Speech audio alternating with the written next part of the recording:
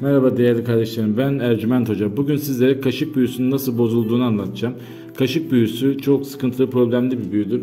Hep bilinçsiz yapıldığı için farklı zararlar vermektedir insanlara. O yüzden bunu genelde bozdururlar. Yani yanlış yerlerde yapıldığı için.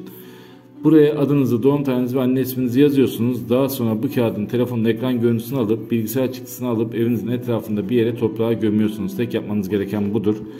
Ve ücretsiz yıldızname bakımı yaptırmak isteyen kardeşlerim bana Ercüment Hocam Instagram kanalından ulaşabilirler. Oradan gelen bütün kardeşlerimize ücretsiz yıldızname bakımını yapıyoruz. Tek şartımız bizi takip etmeniz.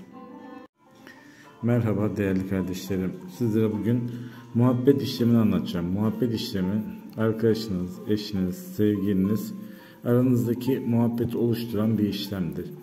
Bu işlemi isteyen kardeşlerimiz bu hazırladığımız kağıda isim, doğum tarihi, anne ismi ve diğer bilgileri yazıp ekran görüntüsü alıp evin bilgisayardan çıktısını alıp evin etrafında bir yere toprağa gömüyor ve 20-25 gün içinde tamamen her şey yüzelip yoluna giriyor.